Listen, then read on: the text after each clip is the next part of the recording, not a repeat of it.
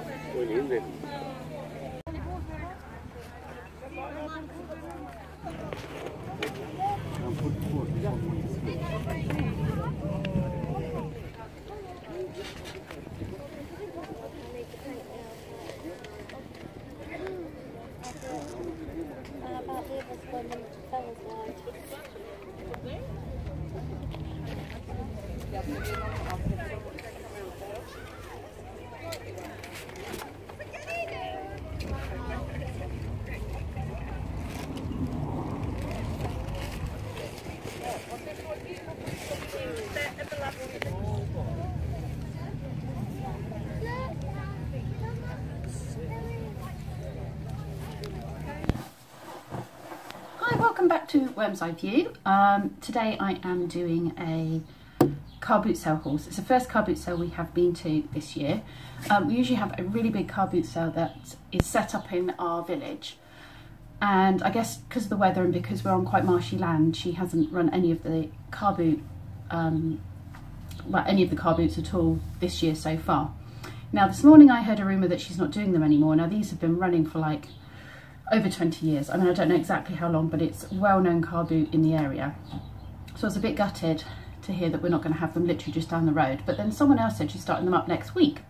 So, I don't know. Maybe we will, maybe we won't. Anyway, we went out to um, a local town and they have a car boot sale in their field every Sunday and we thought we'd go and have a little look around. It's absolutely sweltering out there. I am sunburnt.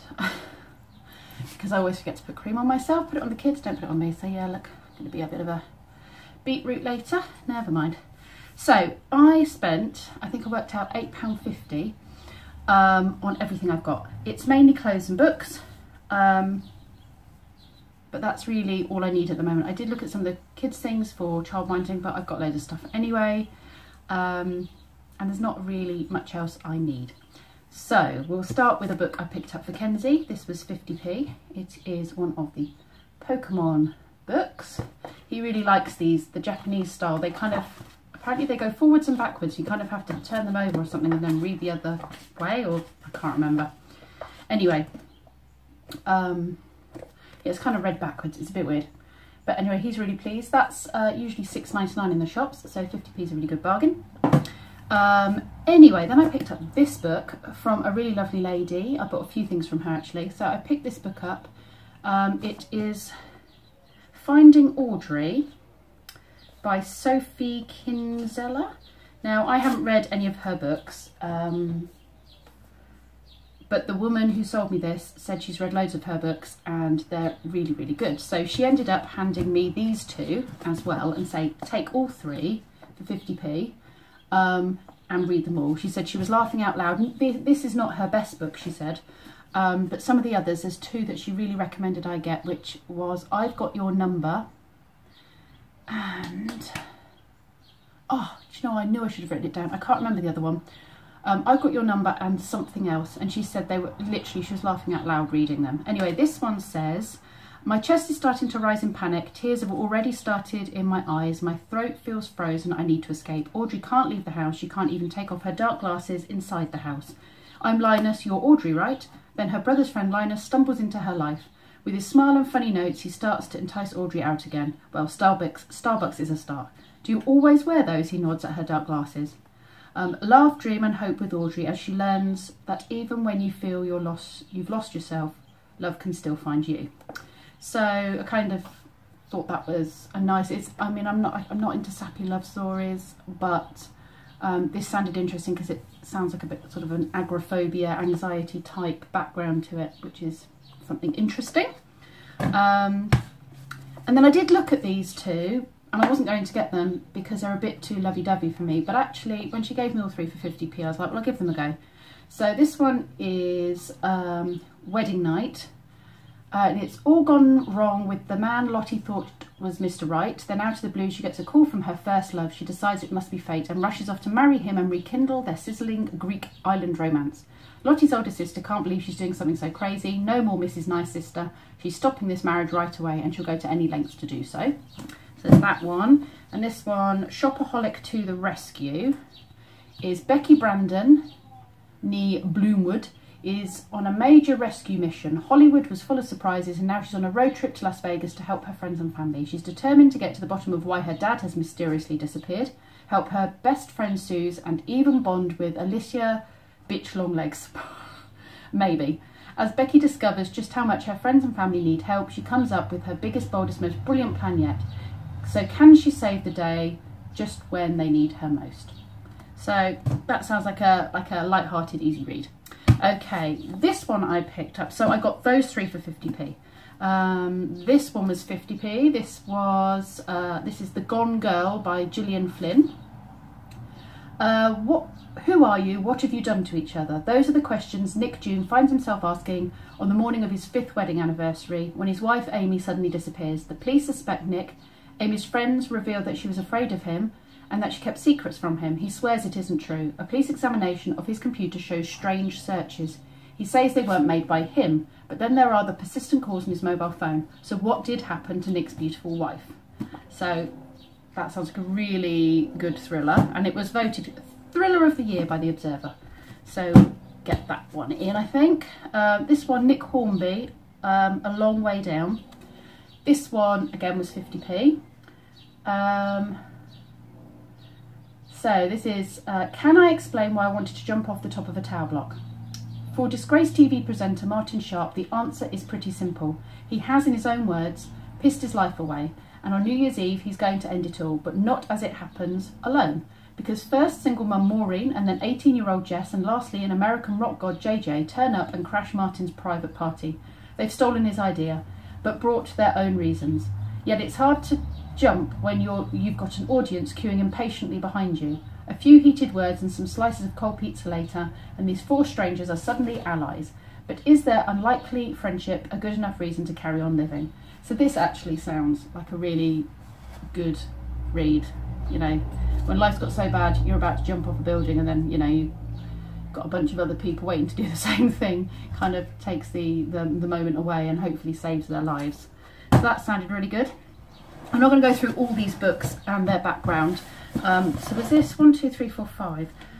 Okay, so then I picked up this one, um, the Ex-Wife Survival Guide by, what does that say? Libby, Libby Holt, I think.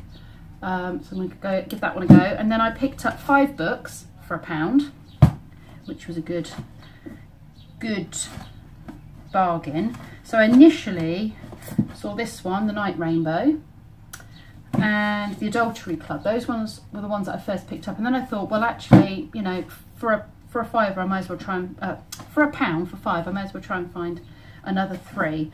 Uh, this one is, this one sounds really good. And I will do, um, if you check out my book reviews, then you'll find out more about these other books as well. Because um, as I read them, I will, um, I will review them afterwards. Uh, this one, Ready or Not by Chris Manby and Girlfriend 44 by Mark Barrowcliffe. Barrowcliff? Yeah, Barrowcliff. So those are those. Then I picked up, no I'm not hiding any secrets, I am not having any more children. Um, I picked up three baby grows in teeny tiny size because um, the baby grows I've got for the dolls are all a bit sort of purpley pinky and I don't think that really not that I'm all for the whole pink per, you know pink is girls and all the rest of it you know I, I don't go with that. But I don't think it entices the boys to get as involved with the dressing the dolls and what have you. Um, and they do enjoy the dolls so I thought it would be nice to have sort of something different to dress the dolls in something a bit more bright primary colours a bit more neutral so I've gone with some Baby Grows. They were 50p, I think, for the three of them. Then um, I don't go out very often. Um, I'm not one of these like dressing up and going out partying and uh, people stress me a little bit. So um, I like my own space. But um, I did go out, um, when was it? When did I need to take my handbag out? It was for the funeral, for my father-in-law's funeral. I had to get my little handbag that I wear with whatever it is I'm going. I have one handbag for going out. Um, just a little black bag that I've had years and years and years, and the clip isn't working anymore. So I've been on the lookout for a new one and I thought this was nice, small, neutral, uh, got lots of little pockets in it and would pretty much go with anything if I was to go out for an evening and just needed something to put my phone in and maybe a lipstick and some money. So that was a pound. And then I picked up, now I haven't tried any of these tops on. I'm hoping they'll fit me. If not, I'll just give them straight to charity and, you know, they can get the money. But I picked this one up for 50p. So I thought that was quite good. More issues than Vogue. It's just a little vesty top, lightweight. So I'm hoping the sun will stay out and I can wear that one. Um, again, just a basic vest top, 50p. Um, it looks like it might be a bit big, but I'm sure if it goes through the tumble dryer, it will shrink up a little bit. Um, the woman thought it was probably a 14, but I'm looking at that thinking it's actually probably a 16, so it might be a bit big on me. But like I said, shrink it up. If not, I'm sure it will be fine as an oversized vest top, 50p. Then this one I saw was beautiful. This is the um, Per Una, so it's Marks and Spencer's. This is a size 14, um, and I just think it's really pretty. Look at that, shimmery. So it's got all these different sort of bits that make up the picture, but they're all sort of, I don't know what's the word. You can see, I don't need to explain it, you can see it. And that was a pound, and I really think that one will fit me. I'm hoping it'll look nice as well. Um, and then I saw this, and I don't have many jumpers because I get really hot, but I just wanted something lightweight, and this is really, I like the cut of it. I like the flowy sleeves. Again, this is a Per Una one, so this is a Marks and Spencer's. Um, I love the colour of it. I think it's really sweet colour, or colours, nice pastels. Um, that is an extra large, so I'm sure it will fit me, um, if not be a bit too big for me. But again, I don't mind with jumpers if they're oversized because I can't stand anything tight fitting. And that was a pound. So yeah, I'm going to chuck these in the wash and then try them on. And if they don't fit, then I'll just pass them on to charity. Um, so those were my bargains for my car boot sale. Um, we are going to have a look tomorrow and see if there's any more car boot sales near us. I shouldn't really buy any more books, but who knows? I keep saying that and I keep buying books. So um, yeah, I guess we'll find out tomorrow, won't we? Thanks for watching. Bye. I totally forgot to show you these guys. These are cute little soldiers, little wooden soldier peg dolls. And I got those three for a pound.